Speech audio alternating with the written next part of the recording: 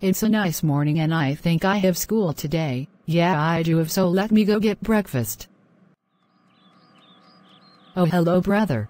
Hi Maria, take a seat and eat breakfast. Okay. So what's up? I'm fine and it's a nice morning, right? Yeah, I know, right? So did you notice we have school? Oh my freaking god, I just forgot. Let's go to our school then. Okay Maria. To be continued.